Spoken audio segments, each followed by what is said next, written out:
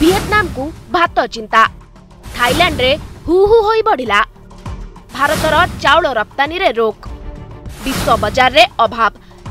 ବିଦେଶରେ ଚାଉଳ ଦର ବେକାବୁ। ଭାରତ ଅଣବାସୁମତୀ ଧଳା ଭଙ୍ଗା ଚାଉଳ ରପ୍ତାନୀ ଉପରେ ରୋକ ଲଗାଇବା ପରେ ବିଶ୍ୱବାସୀଙ୍କୁ ଭାତ ଚିନ୍ତା ଘାରିଲାଣି। ଦର ହୁ ହୁ ହୋଇ ବଢୁଥିବା ବେଳେ ଭିଏତନାମ ଓ ଥାଇଲାଣ୍ଡରେ ସ୍ଥିତି ସଙ୍ଗୀନ ହେଲାଣି। ଦଶନ୍ଧିର ରେକର୍ଡ ଭାଙ୍ଗି ସର୍ବୋଚ୍ଚ ସ୍ତରରେ ପହଞ୍ଚିଛି ଧଳା ଭଙ୍ଗା ଚାଉଳ ଦର। ଫଳରେ ବିଶ୍ୱବ୍ୟାପୀ ଏହାର ବଡ଼ ପ୍ରଭାବ ପଡ଼ିଛି। ଭିଏତନାମରେ ପାଞ୍ଚ ପ୍ରତିଶତ ଭଙ୍ଗା ଚାଉଳ ଦର ମେଟ୍ରିକ୍ ଟନ୍ ପିଛା ପାଞ୍ଚଶହ ପଚାଶରୁ ପାଞ୍ଚଶହ ପଚସ୍ତରୀ ଡଲାରକୁ ବୃଦ୍ଧି ପାଇଛି।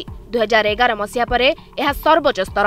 ସପ୍ତାହେ ତଳେ ଏହି ଦର ପାଞ୍ଚଶହ ପନ୍ଦରରୁ ପାଞ୍ଚଶହ ପଚିଶ ଡଲାର ଥିଲା। ଭାରତର ରପ୍ତାନୀ ଉପରେ ରୋକ ଲଗାଇବା ପରେ ଅଚାନକ ବଢ଼ିଛି। ତେବେ ଦର ଆହୁରି ବଢ଼ିପାରେ ବୋଲି ଆଶଙ୍କା କରାଯାଉଛି। ଏପଟେ ମୂଲ୍ୟ ଅସମାନତା ରହୁଥିବାରୁ ନୂଆ କଣ୍ଟ୍ରାକ୍ଟ ପାଇଁ କୁଣ୍ଠାବୋଧ କରୁଛନ୍ତି ରପ୍ତାନୀକାରୀ। ସେହିପରି ଥାଇଲାଣ୍ଡରେ ମଧ୍ୟ ସମାନ ସ୍ଥିତି ଉପୁଜିଛି। ଭଙ୍ଗା ଧଳା ଚାଉଳ ଦର ଏଗାର ମାସର ସର୍ବୋଚ୍ଚ ସ୍ତରରେ ଛୁଇଁଛି। ମେଟ୍ରିକ୍ ଟନ୍ ପିଛା ଛଅଶହ ପାଞ୍ଚରୁ ଛଅଶହ ଦଶ ଡଲାରରେ ପହଞ୍ଚିଛି। ସପ୍ତାହେ ପୂର୍ବରୁ ଏହା ପାଞ୍ଚଶହ ପଇଁଚାଳିଶ ଡଲାର ଥିଲା। ବିଶ୍ୱର ମୋଟ ଚାଉଳ ରପ୍ତାନୀରେ ଭାରତର ସିଂହଭାଗ। ବିଶ୍ୱ ବଜାରକୁ ଚାଳିଶ ପ୍ରତିଶତ ଚାଉଳ ପଠାଉଛି ଭାରତ।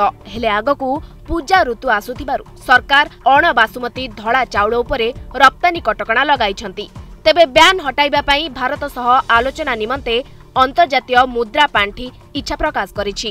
ଗୋଟିଏ ସପ୍ତାହରେ ଚାଉଳ ଅଭାବ ଦେଖାଦେଲାଣି। ଏହା ବିଶ୍ୱ ବଜାର ପାଇଁ ଠିକ୍ ନୁହଁ ବୋଲି ଆଇଏମ୍ଏଫ୍ ମୁଖ୍ୟ ଅର୍ଥନୀତିଜ୍ଞ କହିଛନ୍ତି। ସେପଟେ ଆମେରିକାରେ ଚାଉଳ ଅଭାବୀ ସ୍ଥିତିରୁ ବର୍ତ୍ତିବା ପାଇଁ ପ୍ରବାସୀ ଭାରତୀୟମାନେ ବସ୍ତା ବସ୍ତା ବୋହି ନେଉଛନ୍ତି। ଏହି ଦୃଶ୍ୟ ଏବେ ସୋସିଆଲ ମିଡିଆରେ ଭାଇରାଲ ହେଉଛି। ଗୋଟିଏ ଚାଉଳ ପ୍ୟାକେଟ୍ ତିନି ଗୁଣା ଦରରେ ମିଳୁଛି। ଅନ୍ୟପଟେ କିଛି ସର୍ତ୍ତ ସହିତ ଚାଉଳ ରପ୍ତାନୀକୁ ଅନୁମତି ଦିଆଯିବ ବୋଲି ଭାରତ ସରକାର ଏକ ବିଜ୍ଞପ୍ତିରେ ଉଲ୍ଲେଖ କରିଛନ୍ତି।